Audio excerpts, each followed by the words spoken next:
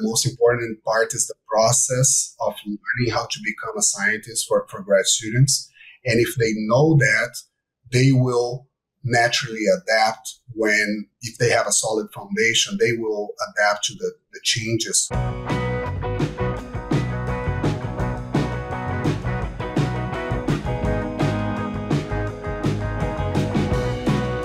Welcome back to the Dairy Podcast Show. My name is Barry Bradford from Michigan State University. Today I'm honored to welcome Dr. Antonio Faciola to the show. Uh, Dr. Faciola acquired his BS and MS degrees from the Federal University of Viçosa in Minas Gerais, Brazil, before getting his PhD at the University of Wisconsin Madison.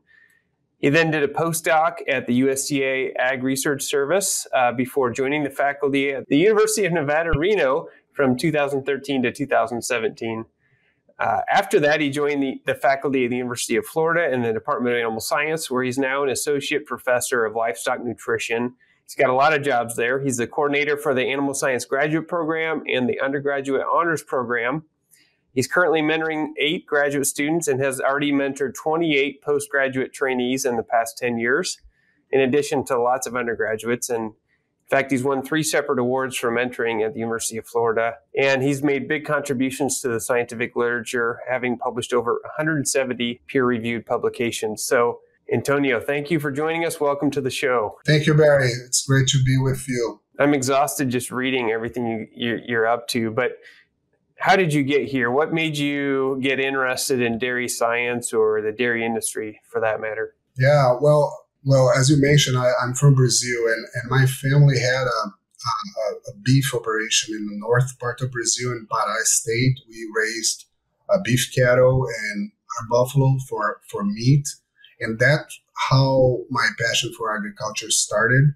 Uh, then I, I went south in Brazil to uh, to get my bachelor's, and I started working um, in a ruminant nutrition lab as a freshman and it was pretty much because there was scholarship available and I needed I needed the money and that's how I started. My my plan A was to go back and, and be a farmer. And then I, I you know I realized all the uh, the opportunities of, uh, related to research and I got really involved with that. And my mentor at the time did his PhD in Wisconsin uh, with Dave Holmes and that's kind of how the connection started. And I did an internship and then uh, did part of my master's in Wisconsin. Then I stayed there. And it's been 20 years that I'm in the US uh, as of uh, July this year. Wow. Okay. Almost half your life now, huh? Exactly. It's it's a weird feeling. You know, I'm I'm not quite Brazilian anymore, and I'm I will never be quite American. Um, so oh, come on it's, it's that you know I'm in that eh, limbo now. Evonik Animal Nutrition is committed to ensure food security and safety while reducing the ecological footprint of animal farming. Its products and services use evidence based solutions that seek to promote animal welfare and reduce reliance on natural resources. All this is underpinned by long standing industry partnerships and deep customer understanding. Evonik's focus on efficiency, sustainable, healthy nutrition, and collaborations with livestock farming partners creates value for customers and consumers. This is off topic. What's if you had to point to one or two things, you know, that were are the biggest difference that culturally living in Brazil versus the U.S. You know, what what comes to mind? Ooh, I, you want to put me in a hot spot. um, you know, in, in, Brazil, I learned a lot. Uh, you know, my, my foundation for you know my for my my bachelor degrees, working in an environment that I didn't have a lot of resources. I think made me very resourceful, uh, very creative. You know, uh, we didn't have you know doing like rumen collections. We didn't have money for cheesecloth, so we have to use like you know t-shirts and you know, uh, so that I think that taught me a lot, and then and it was very help, you know, it helped me a lot moving here, and then here just um, you know the the professionalism, the way people uh, you know work towards achieving goals and the organization, like the society organization. I, I went to Wisconsin, and I got there, and then you know the first winter came, and and I was like, wow, that's why people need to be so meticulous about you know making their silage and you know organizing their their home because the winter comes and you have to be prepared and organized. So so you know I, I really enjoyed uh, learning th- this new culture and and also using the kind of the background that I had to kind of bring that resourcefulness, that you know creativity, and dealing with obstacles to to kind of overcome those issues. Yeah, that's interesting perspective. Makes sense. Well, you're obviously very passionate about your work. What is it you like about being a faculty member? What really motivates you uh, every week to to go get a lot done? Yeah. Well, I think that there's many aspects of my job that I that I really like and uh, that I'm very passionate about it. But I, would say the human interactions are my favorite part, and I really like enjoy working with students. I think we go back, you know, several years when we're talking about you know the teaching. We had like those online forums. Uh, so I, I really like teaching. I really like mentoring grad students. I, I enjoy my collaborations with other faculty as well. But you know, working with students is really what I think I enjoy the most, both undergraduates and graduate students. And I think that's that's what gets me up and excited about my job. If I didn't have that interaction, I you know, I think I would be doing something else. Well, I kind of expected that's what you'd say. Uh, as your roles in, uh, you know, coordinating the honors program, the graduate program in the department, and the mentoring awards you've won. So, based on that, I'm curious if you had to try to summarize the approach you take to mentoring young scientists, how would you describe it? How would you explain that? You know, it, it's very different than a than at least for me than a scientific method that we are so used to you know we, we study you know there's a methodology and it works and it doesn't work and you kind of you know uh, uh, you know working with with people i think for me what, what has worked is you know having a first of all it's setting clear goals and have open dialogue and communication. I think uh, one of the biggest issues is that we are dealing with young people who are students. Even if they're grad students, they're still students. So they're still learning how to be a professional. They're learning how to be a scientist. They're learning how to be nutritionists or, you know, animal scientists. So having that, you know, patience and communicating, uh, not assuming things, I think helps a lot.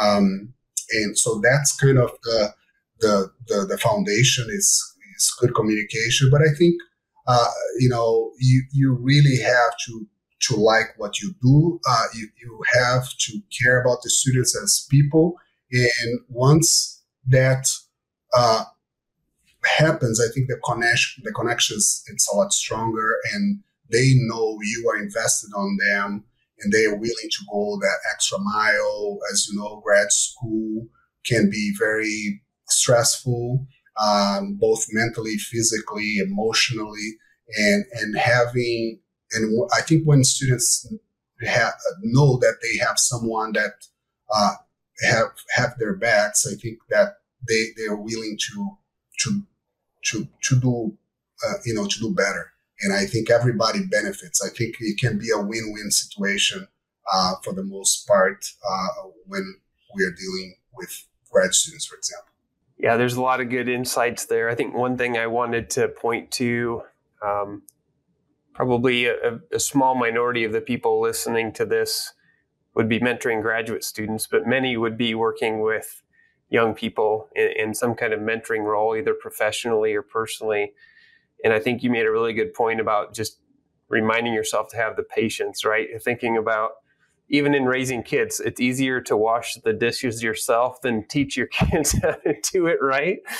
But you have to think about the long term payoff, not only for yourself, but for them, right? And I think uh, for people running dairy farms, it can sometimes be hard.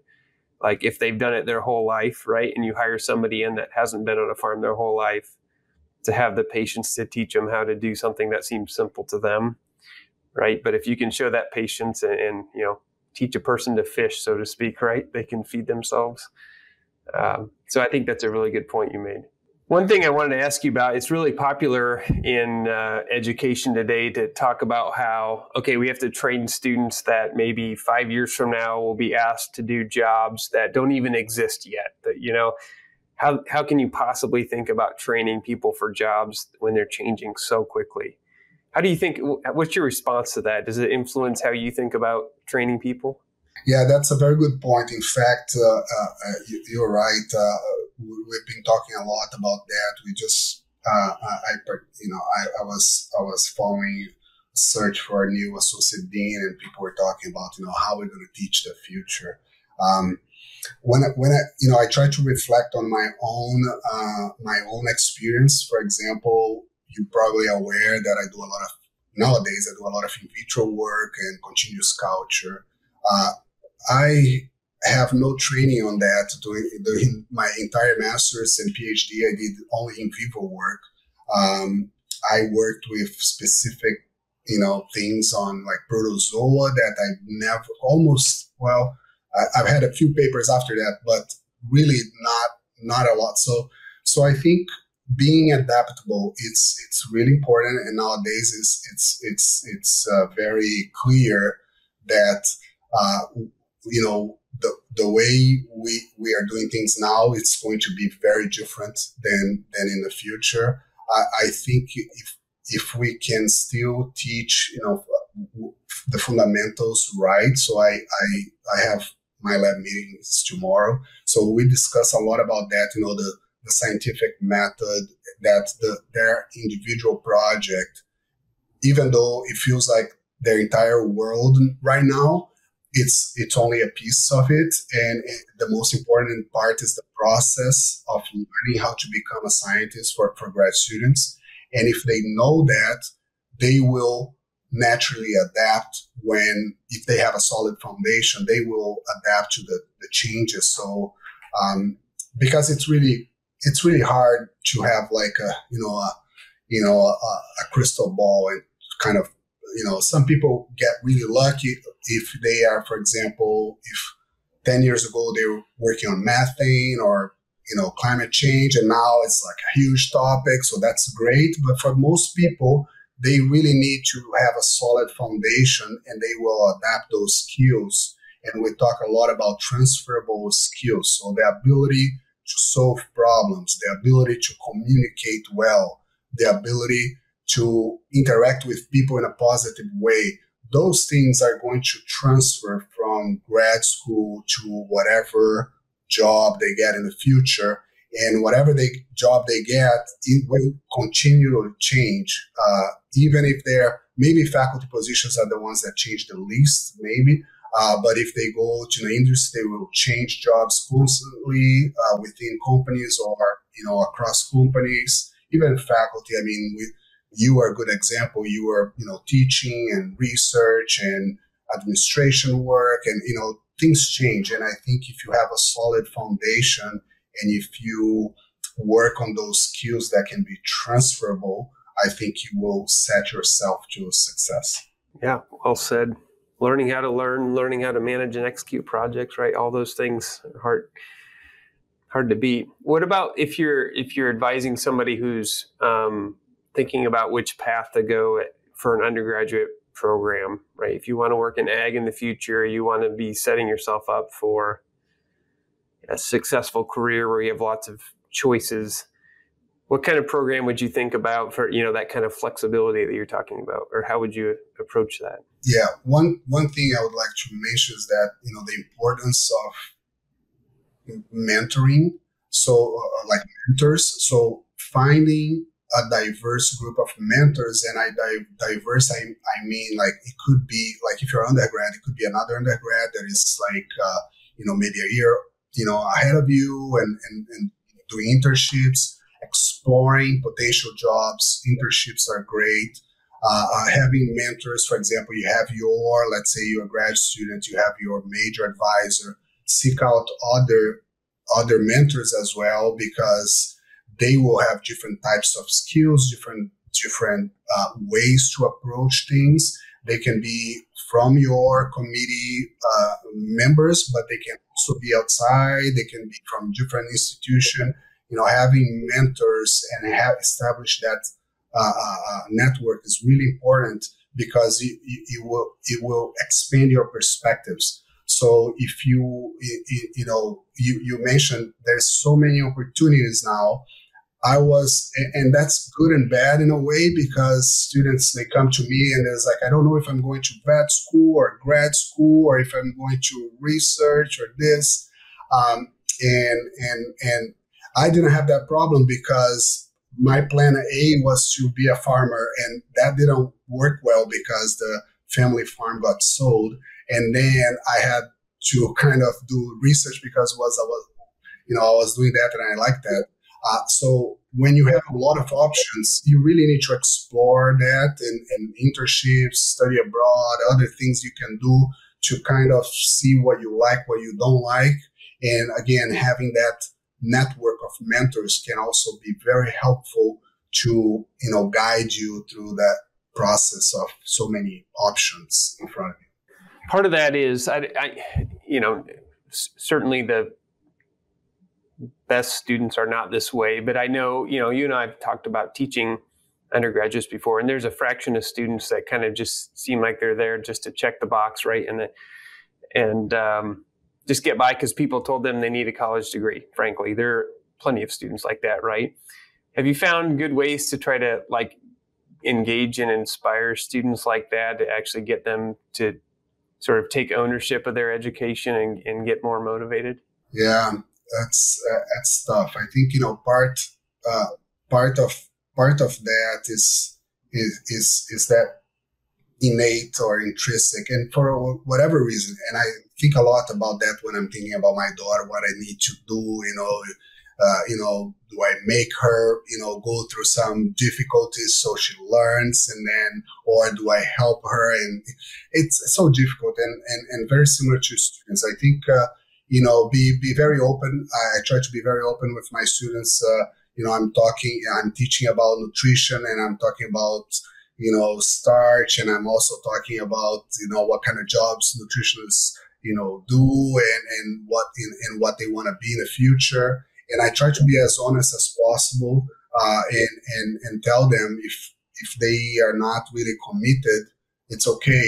It's it's it's a it's a, it's their choice but um, they need to think about how they will feel in the future when someone someone else that you know maybe they know will be their boss or if they can't afford type of lifestyle that they enjoy and you know so so you know that motivation i think i you know i tell them my my personal stories and and i hope to inspire them by doing that but a lot of it it's it, it's really uh, you know, individual thing. So that's, you know, I, I, believe that I've had students from, uh, for example, that come from very good, you know, like wealthy families that could be like just coasting in, in school and they still like work really hard, even though they don't need, uh, you know, I can clearly.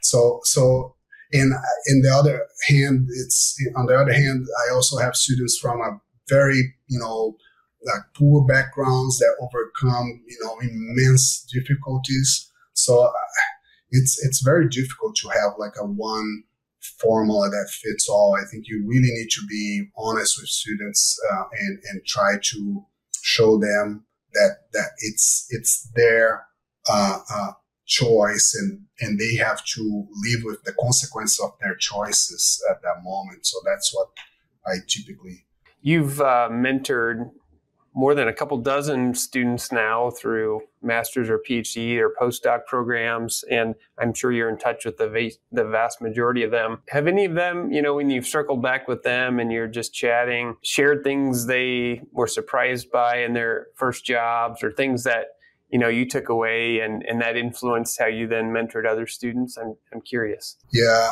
I, I, I have a group i have a you know like a you know a whatsapp group with my former students and we we chat uh, and and i tell them that they are my you know also my source of uh, you know inspiration and, and, and, and, information and they help me guide the new students. Um, and we'll always in, in touch as much as possible and now they are spread in multiple countries. Uh, but um, yeah they they they you know, you know i i have all this you know now they're my colleagues. They even give me advice on you know how to do better and uh, and and so that's really neat. Um, um, yeah we I, I, I don't know if you know if they have told me anything like recently that I that I that I remember, but it, it's it's interesting that I, I you know uh, some of them are considering you know changing careers, and I'm helping them. I'm still you know in touch with them, and as I said, you know every once in a while I reach out to them and say, hey, I'm you know having this you know issue in the lab. What what do you guys think? And you know, they, now they are more mature and, and they can look back at their own experience. And, you know, you, you go, when you have an advisor, I'm sure this kind of, you know, rings true for more, uh, for most students. There's going to be times that you kind of hate your advisor. Uh, but I think once you kind of pass that and you, you learn and you are kind of out there doing your, you know, real work, you look back, I was like, wow, I'm, I'm glad that, you know, Antonio pushed me that way, and I didn't want to do that, but end up being a learning experience. So it's it's fun to have those conversations.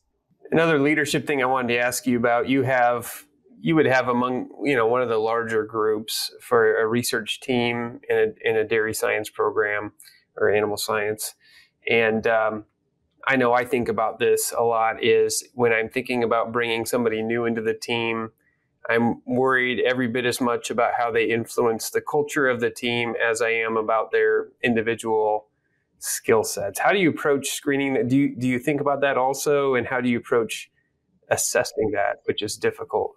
Yes, yes, I think that's very important. So I, I have a mentor mentee uh, agreement that uh, sets the goals and expectations both ways, uh, uh questionnaires, but no matter no matter how much interview or you do, I mean, sometimes it's really hard. So one thing that I've done that really uh, helps is because you you may love a particular candidate, but that person may not be a good fit for your group. So what I do is I ask my students also to interview and to talk to this new potentially new student that gives them the opportunity to feel if that person is going to be a good fit in, into the group.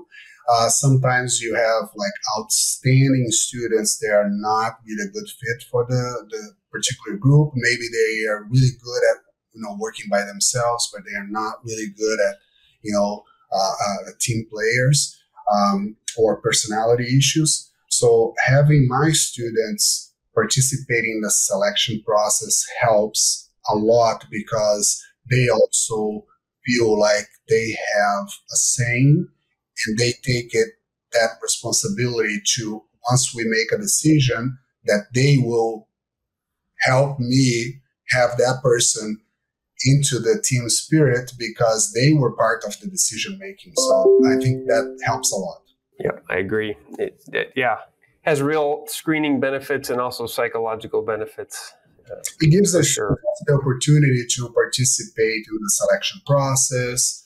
Uh, and once the student comes, that student feels welcome. He, he or she will know that the other ones also participated. So I think it creates a sense of community, and that's very important. So that's a, you know a point that I, I'd like to make to the students who are watching uh, to you know develop that positive relationship within your group and also outside your group.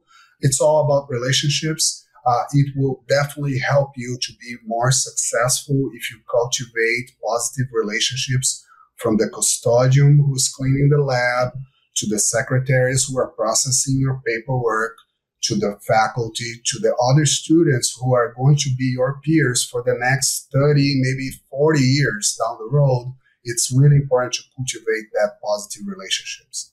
So I want to bring this back. Uh, you know, we're both academics, but most of the people listening are not. I think 99% of what we talked about is clearly relevant across sectors, across industry and academia. Um, but it's maybe not the, the direct translation is maybe not always immediately obvious. But anyway, a lot of our listeners are early career professionals or they manage young professionals. Um, what advice or thoughts do you have to share about effective mentoring of young professionals, maybe in a in say a dairy farm context or an allied industry company? Um, any any more general thoughts? I, I think if you know your time is the biggest investment you can make on young people. So dedicating your time uh, to sit with people one on one, provide, you know, listen, you know, be a good listener is something that I that I continue to work on as as as an advisor, trying to trying to understand, you know, listen to understand and not to reply um, uh, uh, it's it's it's it's really important. I think uh, uh so. Uh, you know, spending time understanding what the, the, the, person needs and and, and and investing your time, investing your resources. I've had students that I sent to other labs to learn new techniques. I've had students that uh, you know I paid for uh, training, statistical training, other modeling training, other things, so they can become better students. And I see that as investment in also in my lab because they will uh, uh, pay back at some, you know, somehow with productivity or with better, you know, better jobs. So invest in your time, invest in resources, listening, and and and and, and I think those things will will go a long way and, and will come back to you as, as an investment in your own uh, um, let's say if, if it's a company, I think that it's very clear that the more you, you invest in your employees, the you know the, the better they they turn out.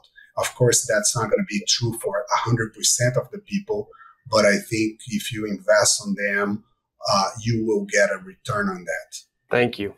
I want to I want to tie in one thing you, you know you highlighted there listening, and I heard you say a couple of times earlier in the conversation that there's no formula, there's no scientific method for helping a mentee sort of achieve their potential.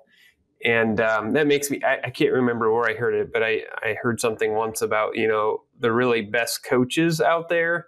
If you're watching a game, um, the best coach might be the one who's in one player's face screaming at him to get him motivated.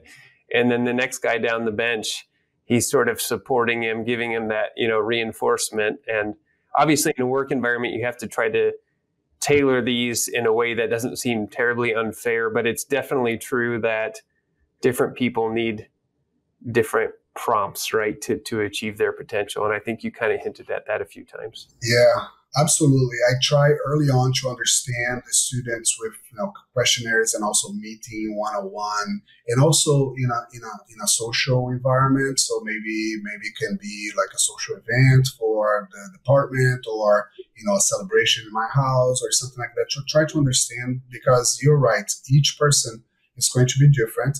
So some students I have to say, hey, we're not going to do that experiment we need to take less samples. We don't need to do all that uh, because that's too much. You're not going to be able to handle all those samples. And some students, you have to kind of say, hey, we need to do more. This is not enough. Uh, so, you know, it, you need to, to understand the person to see how how can you make that person tick and some people could be that you need to kind of be firm and say hey you wanna you wanna be successful this is what you need to do and for some people it may be a very different type of conversation and approach. Well, I've enjoyed this. This, this is awesome. It's time for our famous three. Adisseo, a global leader in nutritional solutions and the provider of Smartamine M, the best-in-class rumen-protected methionine product for dairy producers who want to optimize milk production, capture more value from their components, and maintain their lifetime performance of their herds. For more product information and to calculate your return on investment when you balance your feed with amino acids, go to milkbay.com.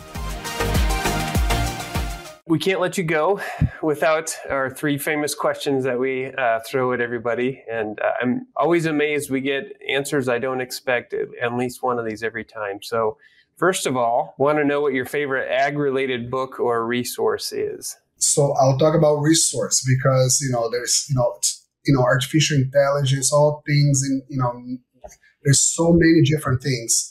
So I would say that lately, the last few months, I've, I've been playing with different things in artificial intelligence, but even like something something rather relatively simple like LinkedIn, and uh, it's been so resource resource for me because you can spend hours like you know there's somebody talking about something and then you go in the link and there's a website that I never really knew existed, and that's true for, for research, for mentoring, for teaching.